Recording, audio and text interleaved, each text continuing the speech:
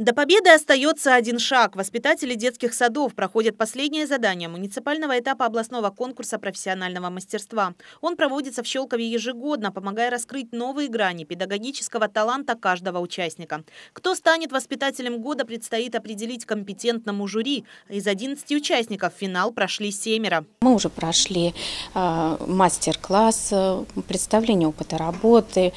Педагоги делились Э, своими впечатлениями о наработанном опыте, проводили занятия с детьми.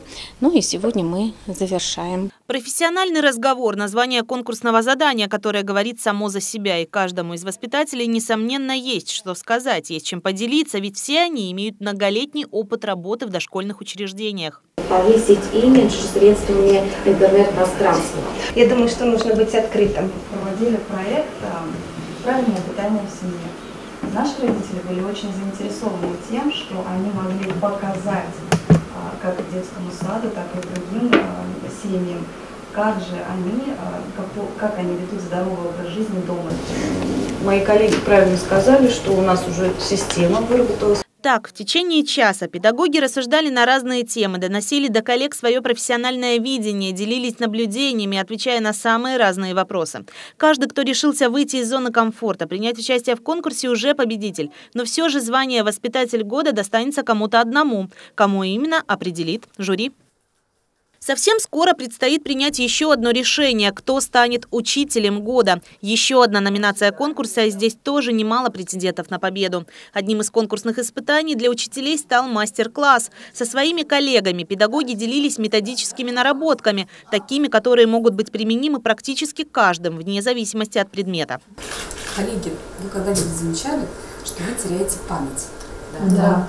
Те объемы, которые мы должны знать и помнить, они, конечно, просто грандиозны. Вот сегодня я вас приглашаю на мастер-класс по тренировке памяти. Давайте поможем все вместе. Лес точно север весной, лиловый, золотой, багряный, веселый, пестрый, стеной стоит над светлой поляной. Березы какой-то желтой листвой блестят в лазури голубой. Вершишки, елочки темнеют, и между кронами синеет.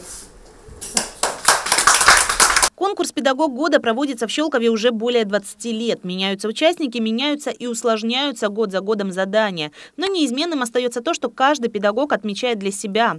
Разницу между тем, как он видел свою профессию до конкурса, и тем, как он смотрит на нее после участия в нем. Приобретенный опыт – самое главное. Анна Балиет, Сергей Василевский, Валерий Жиглей, Щелковское телевидение.